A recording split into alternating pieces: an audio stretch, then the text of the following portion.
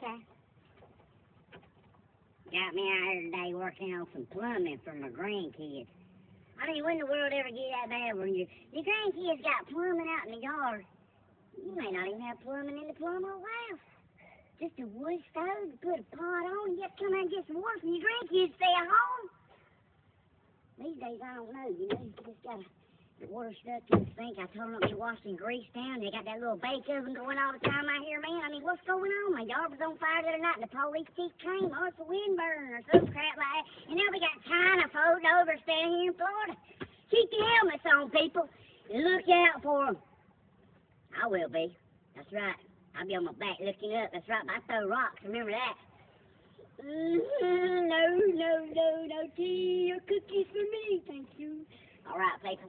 Get the crayons and meet me back here at nine sharp. Watch your six. Don't fall on no